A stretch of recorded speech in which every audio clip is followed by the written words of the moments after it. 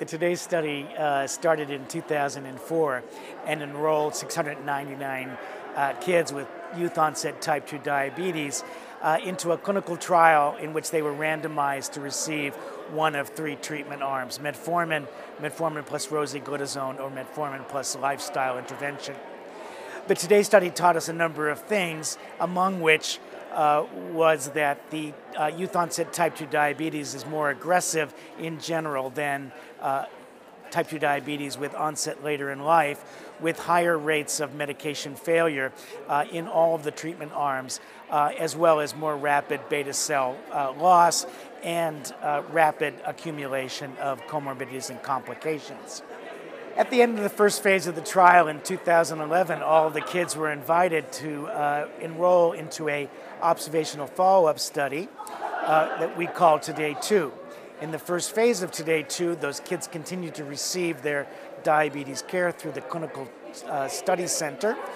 Um, and we're seen every three months, but we're no longer in their randomized treatment.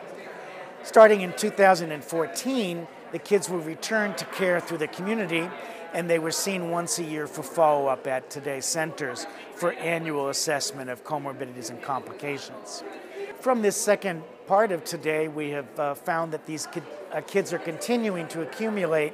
uh, very high rates of comorbidities and complications. We are seeing accelerating rates of cardiovascular disease, renal disease, eye disease, nerve disease, as well as very high rates of poor pregnancy complications for both the mother and the offspring.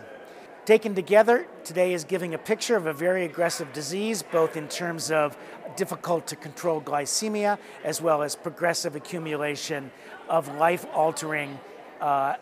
cardiovascular, renal, kidney, eye, and nerve abnormalities, suggesting that this disease continues to have a very serious trajectory with important personal and public health implications uh, as these individuals transition into uh, emerging adulthood.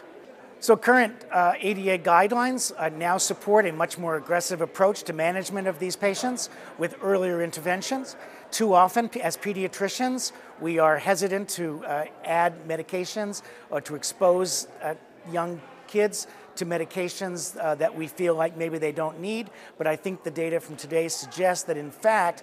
these kids need a more aggressive intervention that is than is probably recommended in older people because they are having a more serious trajectory as well as uh, going to uh, live with these, uh,